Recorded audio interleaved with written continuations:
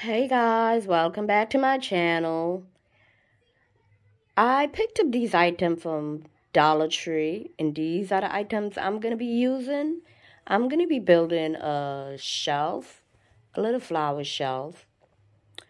What I have here is three boxes, three flowers, three lights, Gorilla Glue, black paint, and a brush. These are what we're going to be using. Let's see how this turned out, you guys. Thanks for watching. Please subscribe, share, like. Thank y'all for watching.